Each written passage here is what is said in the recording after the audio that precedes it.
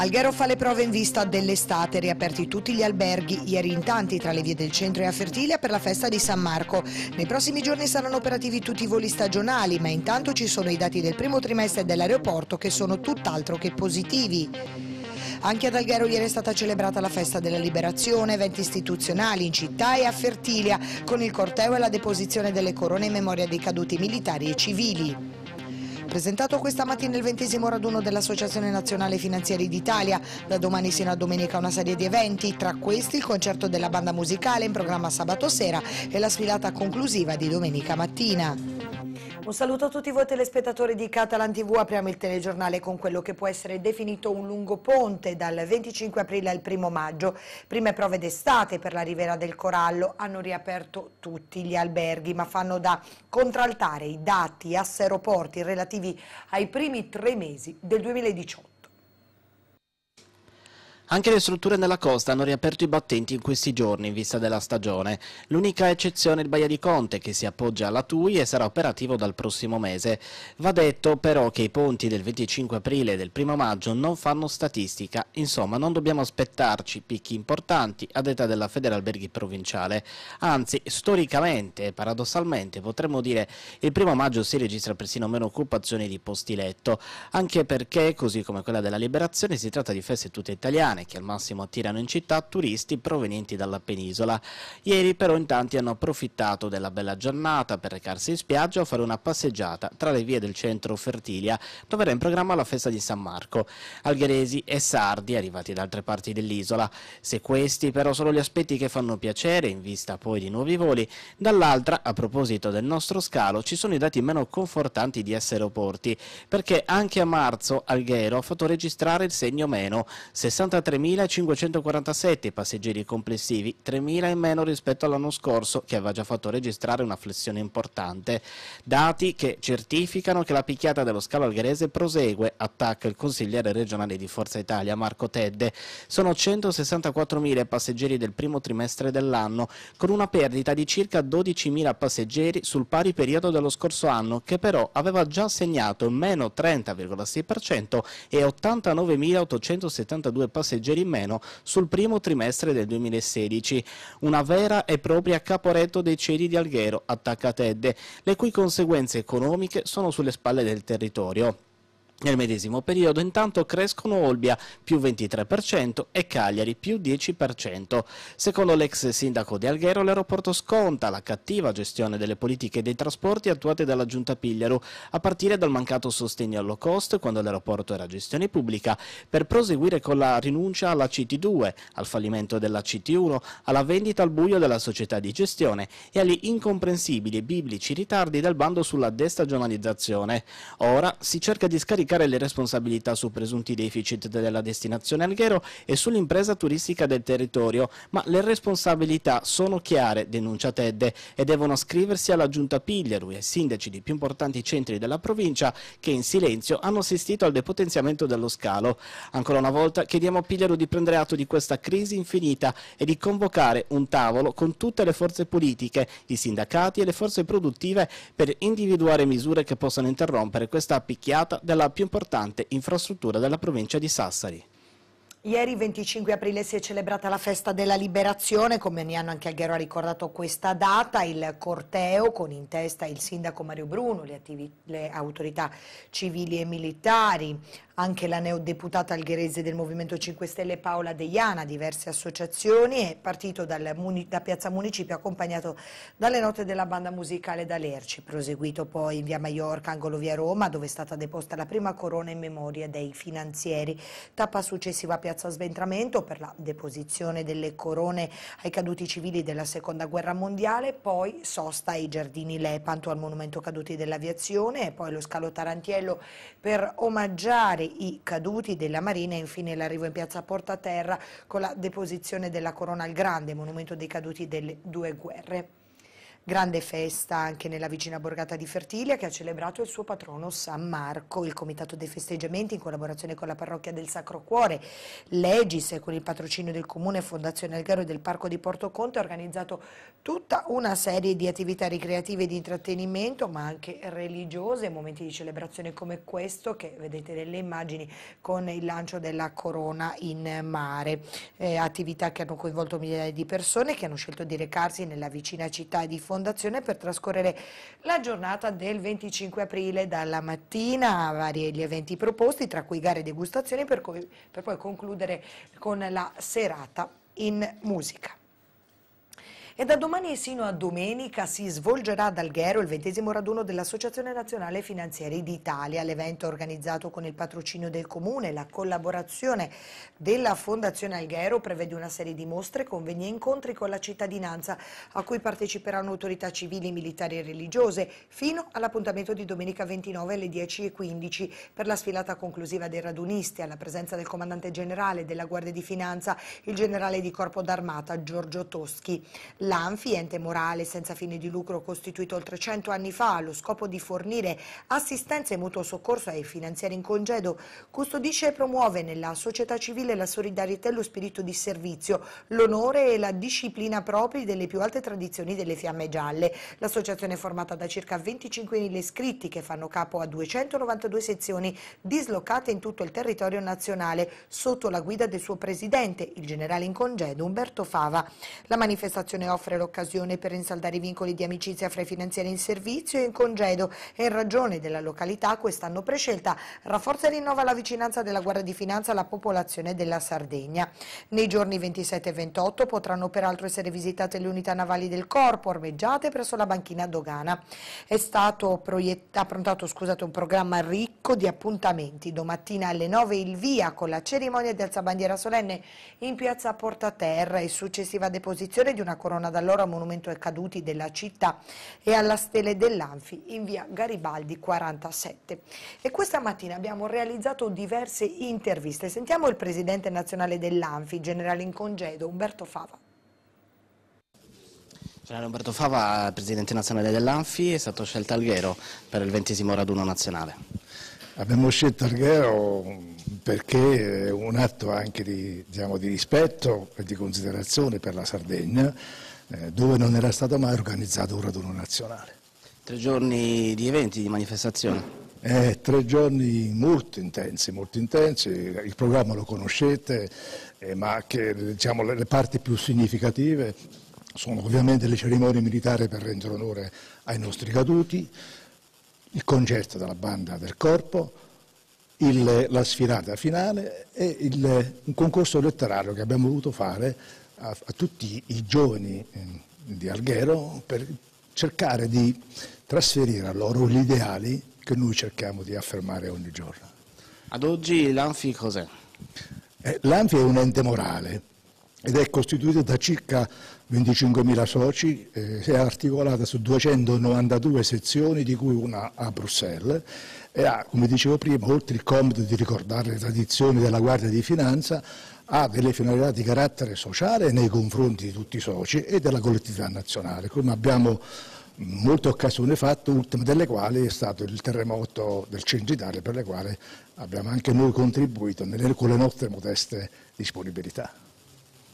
Ed ora invece sentiamo il comandante regionale della Guardia di Finanza, il generale Bruno Bartoloni e il sindaco Mario Bruno. Generale Bartoloni, è importante che sia stata scelta Alghero la Sardegna per questo ventesimo raduno nazionale. È la prima volta che viene scelta la Sardegna, è una terra splendida, una terra che ha dato tanti finanzieri, tanti finanzieri che si sono distinti nel corso del tempo con atti veramente importanti, è veramente un piacere essere qui a festeggiare questo evento che porterà tante persone da tutta Italia qui. Abbiamo parlato dell'importanza dell'Anfi comunque eh, in generale in Italia, in questo caso per questo raduno. Sì, eh, l'Anfi è un'associazione fondamentale, l'associazione che custodisce le nostre tradizioni, di cui fanno parte tante persone che nella loro vita hanno servito il Paese, lo Stato, la Guardia di Finanza e chiaramente per noi è un elemento fondante della nostra istituzione. Posso dire una grande festa per tre giorni? Una grande festa per tre giorni, un momento per celebrare il rapporto tra le istituzioni, la Guardia di Finanza e il territorio, in particolar modo la città di Alghero e per noi sarà veramente un piacere poter essere qui e ringraziamo Alghero per aver voluto ospitare questo evento. Sindaco, Alghero che si sta abituando ai grandi eventi, centesimo Giro d'Italia, in questo caso ventesimo raduno dell'Anfi. Ma sì, per la prima volta in Sardegna e direi che è un momento importantissimo per la città di grande rilievo che segna anche un rapporto con chi serve lo Stato e quindi un rapporto altamente istituzionale. Chi serve e chi ha servito lo Stato attraverso la Guardia di Finanza e credo che questo servizio sia un servizio che rimanga per sempre e in questi giorni lo, lo dimostreranno ancora di più. Un momento istituzionale, un momento culturale, eh, di reciprocità fra, fra, istituzioni, fra territori e la Sardegna credo che sia una terra di, di accoglienza e lo dimostrerà anche, anche in questa volta. Si aspetta una grande partecipazione anche degli algheresi. Sì, eh, noi ne approfittiamo proprio per coinvolgere gli algheresi, i sardi, perché sia un momento di popolo e quindi la, la città deve partecipare, può partecipare a questo grande appuntamento istituzionale. Ci lasciamo ora, c'è la pubblicità, tra poco.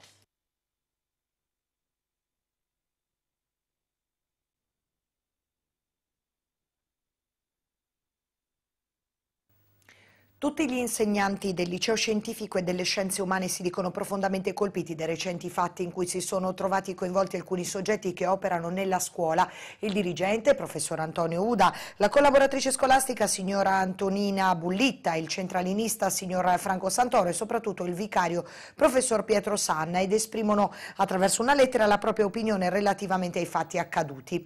L'ampia risonanza mediatica che gli è stata riservata esime dal ripercorrere eventi ormai noti a tutti. Tuttavia si ritiene necessario in questa sede ripercorrere la storia del nostro liceo, che è storia di costante inclusione, profondo rispetto e considerazione della disabilità, si legge nella lettera. Da anni è attivo e perfettamente funzionante uno staff di docenti che ha a cuore il benessere e l'inserimento dei ragazzi in situazioni di svantaggio, la cui primaria preoccupazione è che la loro partecipazione alle varie attività sia quanto più possibile integrata e serena.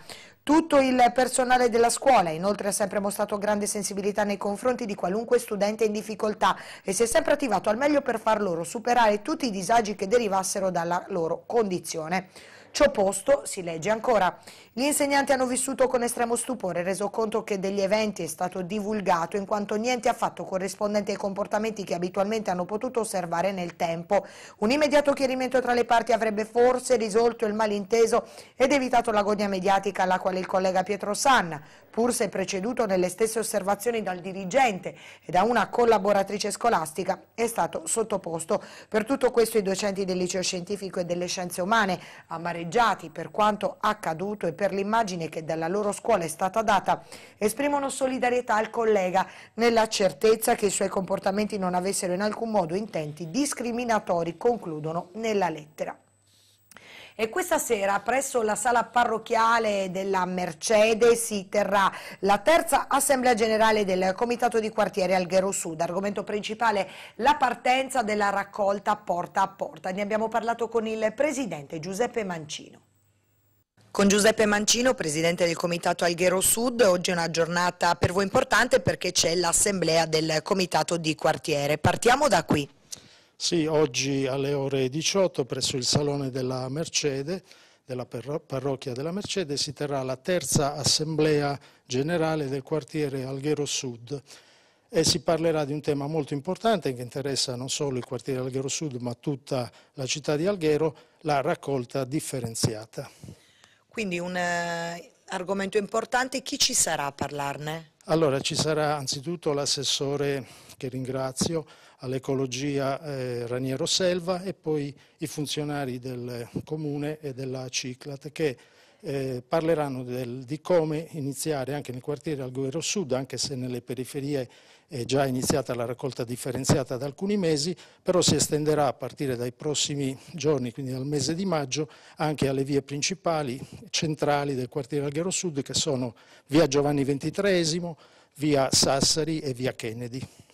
Dunque un invito a tutti i cittadini a partecipare anche ai commercianti. Certo, purtroppo i commercianti io so che non potranno intervenire in molti perché lavorano, però devono capire che la parrocchia viene eh, data a determinate ore, il salone della parrocchia, però io spero che i cittadini intervengano numerosi per ascoltare appunto il messaggio eh, portato dall'amministrazione comunale di Alghero. Procede dunque l'attività del Comitato di Quartiere Alghero Sud, oltre a questo appuntamento quali sono gli altri? Allora il prossimo appuntamento sarà in maggio una gita del quartiere, però io vedo un po' il futuro. Eh, il triennio sta per concludersi, eh, nel dicembre 2018 ci saranno le nuove elezioni per le cariche, quindi già da adesso io invito anche stasera durante l'assemblea a proporsi, soprattutto persone giovani, proporsi e candidarsi per il nuovo consiglio direttivo che guiderà questo comitato che è il penultimo dei nati, eh, a iscriversi, a partecipare alle nostre riunioni e poi magari candidarsi per poter fare eh, parte del nuovo direttivo che guiderà questo comitato nel triennio futuro, cioè dal 2019 sino al 2021.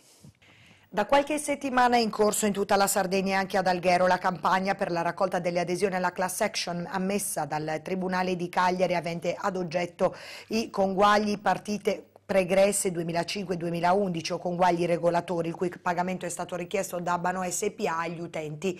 Si tratta di somme che tanto il Tribunale di Cagliari quanto quello di Nuoro hanno ritenuto non dovute, tant'è che il primo ha ordinato ad Abanoa di provvedere alla restituzione agli utenti delle somme da questi pagate, mentre il secondo le ha ordinato di sospendere ogni attività di riscossione. Nella nostra città le adesioni possono essere presentate entro il termine del 20 maggio presso i locali della Confartigianato in via Vittorio Emanuele 113, dove è stato istituito dalla Dicomsun Sardegna un punto di raccolta. Gli interessati dovranno presentarsi muniti di copia di un documento di riconoscimento, di copia della fattura riguardante i conguagli partite pregresse 2005-2011 e di copia delle ricevute di pagamento per chi vi avesse provveduto. Maggiori informazioni saranno fornite durante l'assemblea cittadina che si terrà questo sabato alle 10 presso la sala conferenze del quartiere Largo San Francesco, alla quale interverranno il presidente di Consul Sardegna Giorgio Vargiu e il consulente legale dell'associazione, l'avvocato Franco Dore. E domani pomeriggio il Qualte ospiterà a partire dalle 18 la conferenza dal titolo Chi è stato Pasqual Scano a cura dell'associazione Tolos sentiamo in merito il presidente Franco Sanna e il professor Paolo De Sì che insieme a Raimondo Dore cureranno alcuni momenti musicali. Proseguono gli appuntamenti e gli eventi per eh, la ricorrenza dei 110 anni dalla nascita di Pasquale Scano, un personaggio importante per la nostra città di Alghero. Oggi siamo in compagnia del professor Franco Sanna che è presidente dell'associazione Tolos, organizzatrice della conferenza che domani sera al Qualtè avrà come protagonista appunto la figura di questo letterato. Partiamo da lei professore, una conferenza voluta dalla Tolos per mettere in evidenza veramente la caratura di questo personaggio personaggio? Sicuramente, in collaborazione naturalmente con altre entità come l'associazione la, Meta, la Fondazione Meta, il Comune di Alghero, insomma, e tutti quelli che ci hanno dato una mano. E questa figura effettivamente eh, meriterebbe molto più spazio nell'ambito della cultura algherese. Ha fatto tantissimo, quasi mi sono meravigliato di scoprire quante cose abbia fatto nell'ambito della sua vita, della sua attività.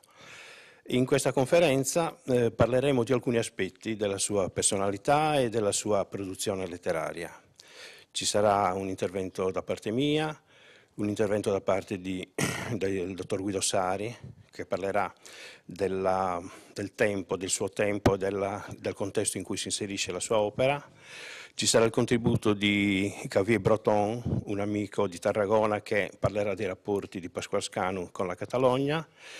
Ci sarà Giussi Pascalis che leggerà alcune sue poesie e le commenterà ed è previsto anche un segmento musicale che eh, sarà a cura di Paolo Dessi, qui presente, e Raimondo Adore. E allora chiediamo al professor Dessi che cosa avete pensato per ricordare musicalmente la figura eh, di Pasquale Scanu?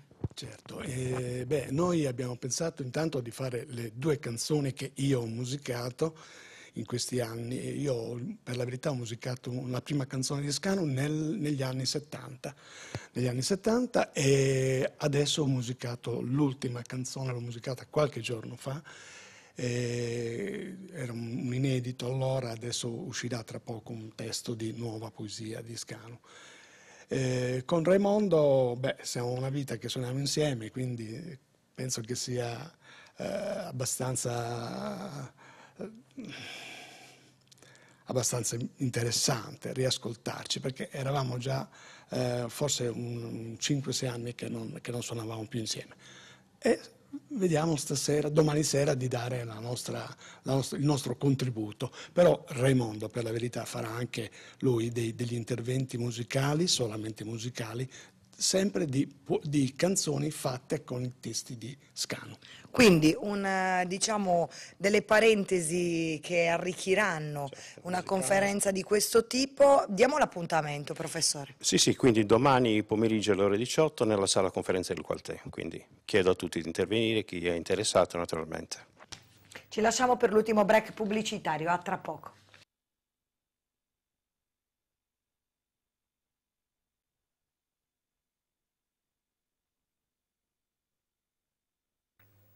Sono iniziati i pellegrinaggi al santuario di Nostra Signora di Valverde. Gli orari della Santa Messa domenica saranno alle 7, alle 8, alle 10, alle 11.30. Il pomeriggio alle ore 17.30 e 18.30. È possibile raggiungere il santuario anche con l'autobus partendo da Sant'Agostino al mattino alle 7.40, al pomeriggio alle 16.30 tutti i giorni da lunedì al sabato.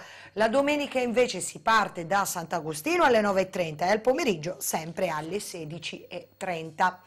Parliamo di motori nell'edizione di oggi del nostro telegiornale. Questo fine settimana in programma lo slalom del Villanova. Nei giorni scorsi conferenza stampa di presentazione nel vicino comune montano. Sentiamo le interviste con Tore Bello e Pier Vittorio Farris del team Alghero Corse che lo organizza e con il sindaco di Villanova. Ma partiamo con i vertici del team. Quest'anno, quest'anno, visto il successo dell'anno scorso, abbiamo chiesto alla federazione la titolarità in campo nazionale. Per cui eh, ci sarà un, un, ispettore che verrà a valutare le nostre, le nostre referenze e che, eh, speriamo di poter raggiungere questo, questo titolo e consegnare alla città di Villanova un trofeo che è veramente ambito. E niente, volevo ringraziare tutto il, tutto il, comune di Villanova, il presidente della Prolocco, il, il, il comandante dei, dei carabinieri di, di, Villanova, i vigili urbani, tutta, tutta, la popolazione, tutti gli sportivi, tutti i piloti, tutti i commissari di percorso, tutte le persone che ci daranno una mano per contribuire alla riuscita di questa nostra bella e grande manifestazione. Per cui arrivato a questo punto non posso dire altro, vi aspettiamo numerosi al Villanova. Gra Ciao a tutti amici sportivi, eh, siamo qui per il secondo anno consecutivo eh, come federazione eh, AC Sport e Team Alghero Corse. portiamo questa manifestazione adesso a fine aprile al, al top per quanto riguarda uh, gli slalom in Sardegna. E questo ci rende un attimo una punta di orgoglio per quanto riguarda l'organizzazione del Team Alghero Corse. Ovviamente vi aspettiamo numerosi come pubblico eh, per quanto riguarda appunto la nostra manifestazione e eh, vi ricordo anche che a fine maggio ci sarà la uh, amata Alghero Scalapicada settore slalom. Speriamo di eh, trovare delle giornate come questa, soleggiata e meravigliosa, e di portare avanti le manifestazioni eh, sempre eh, nel, nell'amore per lo sport. Grazie a tutti. Ed ora in conclusione sentiamo il sindaco del vicino comune Montano.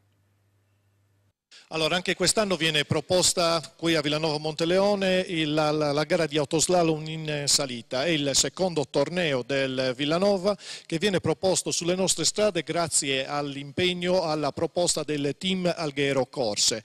Una eh, proposta che nasce dalla collaborazione anche con gli altri team motoristici di Villanova Monteleone che sono appunto il VM eh, Karting e il team Villanova, eh, Villanova, Corse. Quindi una seconda edizione che viene fatta nel territorio dell'Unione del, del, Villanova, nel, in un tratto appunto della, della strada che, Villanova poi, che da Villanova porta a Monteleone Roccadoria, inserita quindi in un palcoscenico, se vogliamo, anche da un punto di vista paesaggistico e ambientale, sicuramente importante, apprezzabile e invidiabile, eh, dove appunto i colori della, della primavera primavera, i profumi della primavera vanno ad arricchire, ad impreziosire ancora di più questa bella eh, manifestazione. Una manifestazione che lo scorso anno ha avuto un, un successo di pubblico e di eh, partecipanti eh, importanti e sono sicuro che anche quest'anno possa essere eh, confermata. Una eh, manifestazione eh, che sicuramente va a coinvolgere molti appassionati presenti nel nostro comune e in tutti i comuni circostanti. Quindi noi pensiamo che grazie appunto a questa passione, grazie a questo interesse, anche quest'anno possa essere confermato il successo dello scorso anno o addirittura eh, migliorato. Quindi vi aspettiamo tutti a Villanova Monteleone domenica 29 per la gara dell'autoslalom in salita. Ed è tutto per l'edizione di oggi del nostro telegiornale. Vi lascio al meteo. Grazie per averci seguito. Arrivederci.